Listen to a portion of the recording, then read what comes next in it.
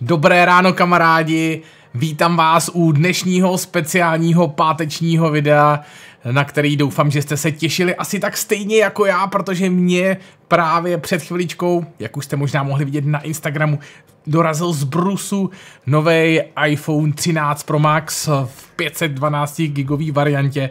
No a bohužel se mi nepodařilo sehnat i ty další telefony, nebo lépe řečeno 13 mini, 13 a 13 Pročko mi dorazí až v průběhu dneška, takže samozřejmě se i k těmhle těm telefonům později dostanu, ale to vůbec nevadí, aby jsme si spolu neprojeli a aspoň nerozbalili jeden telefon.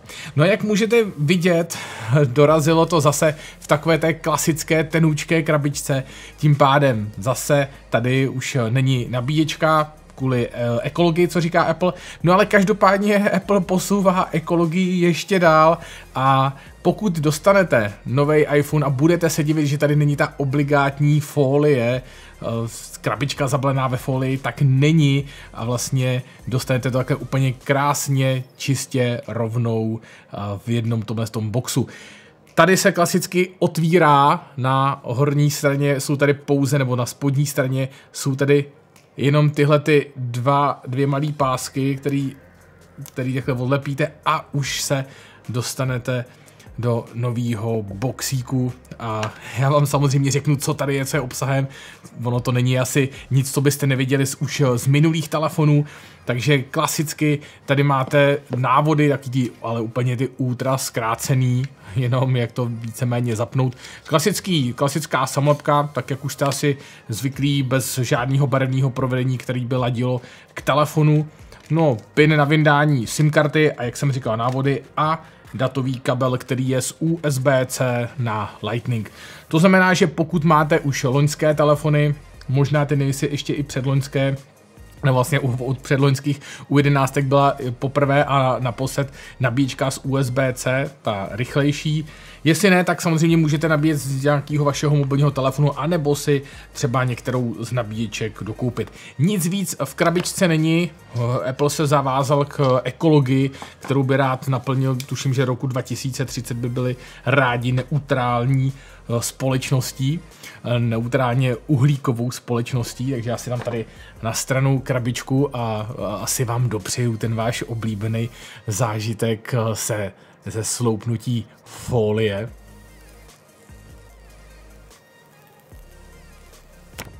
Tak. Samozřejmě, eh, jestli tohle to není, tohleto video není recenze, tohle je takový ten unboxing a první pohled a samozřejmě na recenzi se dostane, takže určitě si nezapomeňte dát subscribe, abyste právě, nebo odebírat tento kanál, abych řekl to správně česky, abyste právě o další video nepřišli. Eh, o co jsou vlastně nové iPhony lepší nebo horší oproti těm loňským, tak už můžete vidět asi možná na první pohled, protože tohle je můj původní 12 Pro Max versus 13 Pro Max. Asi tak trochu možná malinko těžší, eh, nedíval se se přesně na parametry, ale myslím parametry v rámci, v rámci váhy, ale když eh, poprvé potěžkáte oba najednou, tak si myslím, že si žádného zásadnějšího váhového rozdílu nevšimnete. Už 12 Pro Max byl relativně těžký model, tady je právě ta největší výhoda baterie. Já jestli jste viděli už zahraniční unboxingy nebo první ty recenze eh, třeba od Markéze nebo z The Verge, tak eh, jestli můžete vidět, nebo jestli jste viděli, tak eh, oba dva si velmi chválili výdrž na jedno nabití. Konkrétně Marquez říkal, že asi po pěti hodinách screen on timeu měl pořád 50% baterky, když telefon použil nějakým standardním způsobem. Verge se dostali někam na 20%, eh, při používání zase někde kolem těch pěti hodin. Ovšem, Verge natáčeli 4K videa a tak dále, telefon dávali pořádně zabrat oproti Markézovi, který telefon víceméně používal tak, jak je u ní zvyklý na denní bázi. Už na první pohled eh, samozřejmě si můžete všimnout ze zádu obrovsky eh, dramaticky, nebo dramaticky, v nějakých 20-30% bych to tak zhodnotil, nárůst eh, fotoaparátů. Eh, tím myšleno jejich velikosti. Samozřejmě u 13 mini a u 13 jsou ty foťáky jenom dva, mají trošičku jiné rozložení diagonálně. Je to kvůli tomu, že 13 a 13 mini vlastně adaptovali uh, senzor z 12 Pro Max, ten hlavní, a samozřejmě kvůli tomu, že je potřeba tam dodat více místa, tak právě kvůli tomu uh, je diagonální rozložení kamer. Jinak pořád jsou to všechno, uh, když se budeme bavit zpátky o 13 Pro Maxku, všechno to jsou tři 12 megapixelové objektivy. Změnil se zoomový, ten je trojnásobný oproti 2,5 násobnému loni, No a velkým upgradem by měla projít i právě širokouhlá kamera. To si myslím, že jestli jste nadávali podobně asi jako já u minulých iPhoneů, vlastně od 11 se tady nic moc, nic moc nezměnilo a právě eh, širokouhlá kamera by měla eh, dojít k velkému vylepšení, protože eh, jednak by senzor měl být údajně o něco větší, já jsem schválně zvědavý, až eh, ty fotky nějakým způsobem porovnám. No ale hlavně přibylo tady ostření na širokouhlém objektivu. Pár i třeba androidových výrobců tuhle tu funkci má.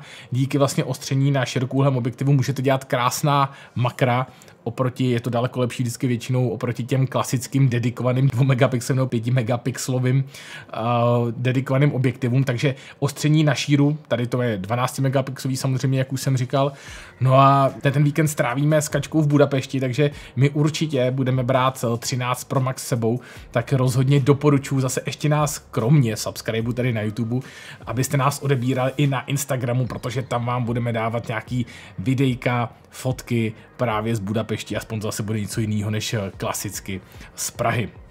Eh, další věc, co by měla přijít, eh, ta teprve přijde, není tady úplně ze začátku, tak by měl být ProRes video. Pozor, jenom na 256 gigových variantách a výš a jenom na iPhonech 13 Pro a 13 Pro Max. Je to, je to funkce, která by měla dodat ještě daleko lepší lepší pohled nebo lepší obrázek, právě výstupní kvalita. Apple je relativně velmi spolehlivý v doručování takovýchhle no, inovací a myslím si, že stejně tak jako přišly ravové fotky, tak v průběhu podzimu se právě dočkáme ještě ProResového videa.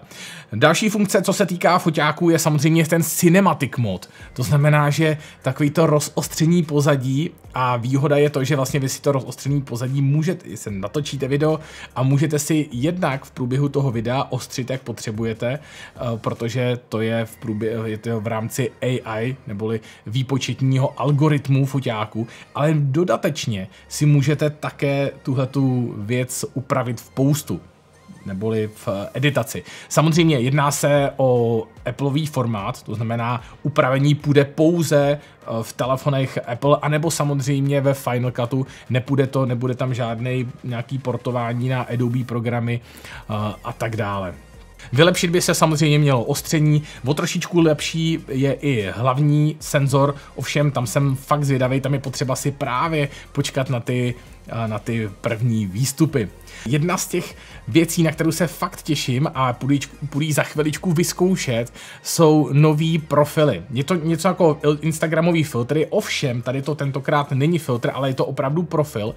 A tohle to se potom právě zapracuje do fotky samotné. Není to právě filtr, ale je to zapečeno přímo eh, do dané fotky, protože filtr by vám to klasicky udělal přes celou fotku, ale tady je to zapečeno právě do toho automatického algoritmu, kterým prochází výsledná fotografie. No tak já teď půjdu udělat ven prvních pár fotek, ale ještě jsem zapomněl na jednu důležitou věc a to je samozřejmě display u 13 a 13 mini jsou pořád 60 Hz displeje, i když eh, pořád ty 60 Hz displeje jsou u Apple velmi plynulé. Ovšem 13 Pro a 13 Pro Max 120 Hz displej, který má tu v technologii LTPO, to znamená, že vlastně může padat obnovací frekvence až někam eh, k 10 Hz, ale samozřejmě v momentě, kdy po displeji swipeujete a rychle přijíždíte, tak se zase zrychlí na 120 Hz. Díky tomuhle se právě šetří baterie, no a to je velký rozdíl oproti 12 Pro Max, takže když to vezmeme a schrnu to, tak o trošičku lepší foťáky, plus samozřejmě hodně vylepšené šíro, baterie a 120 Hz display u iPhoneu 13 Pro. Kdyby se mě někdo ptal už tuhle tu chvíli, jestli si má koupit 13 nebo jestli upgradeovat z 12, tak minimálně třeba u 13 mini by se taky výrazně měla zlepšit baterie, i když pořád při velkém používání to není úplně eh, plnohodnotně jednodenní telefon, ale zase ten, kdo používá, eh, ten, kdo používá hodně telefon, si pravděpodobně asi nekoupí 13 mini. 13 eh, klasická je za mě asi takový ten nejmenší upgrade a pak samozřejmě 13 Pro a 13 Pro Max eh, tady jsem zvědavý, až to pořádně zapnu, udělám teď právě pár fotek, jak to bude fungovat a jak samozřejmě pofrčí display. Vy se určitě subscribeujte, protože recenze by měla být v průběhu příštího týdne, No a já se budu těšit mezi tím, co jste tady viděli teď pár fotek, na to, že se uvidíme na Instagramu a nebo zítra na Hurá News. Díky hrozně moc za sledování, díky hrozně moc za tenhle ten rychlej první pohled. My asi za dvě hodiny odlítáme do Barcelony, tak já to jdu, eh, pardon, do Budapešti, tak já to rychle se stříhat. Mějte se krásně a vidíme se u dalšího videa. Tak čau.